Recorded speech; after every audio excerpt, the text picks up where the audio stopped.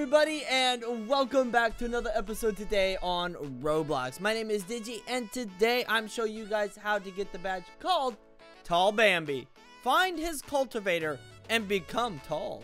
Now, some of you might have this badge already because it was free for a while, but now they have relocated the badge. So, to get this, I suggest becoming a morph that moves fast or relatively quickly. Um, that could be the Huggy Wuggy morph here.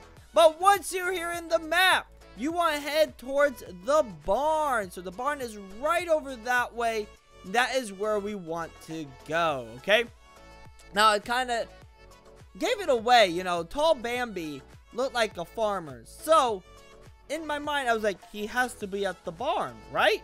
The trick was looking for the cultivator, all right?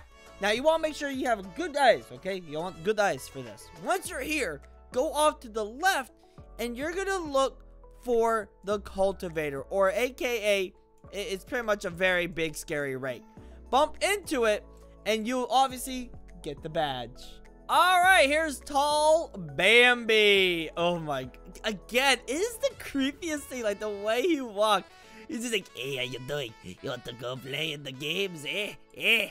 Also, I just noticed he can run. oh, no. That is not okay. This is not fine at all.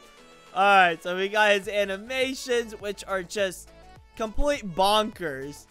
The, uh, the, the, this two, Left and down are just... What is happening? Possessed by a demon. Anyways, so y'all, that is all for today. Thank you all so much for watching. If you enjoyed, then go ahead and leave a like and subscribe down below to join the Badge Hunting Squad today. Also, go ahead and use my star code DIGI whenever you buy Robux or Premium. And if you want, check out my Roblox group, my Twitter, and my Discord. The links are in the description down below. I love you all, and as always, stay awesome, stay cool, and good luck badge hunting. Bye-bye!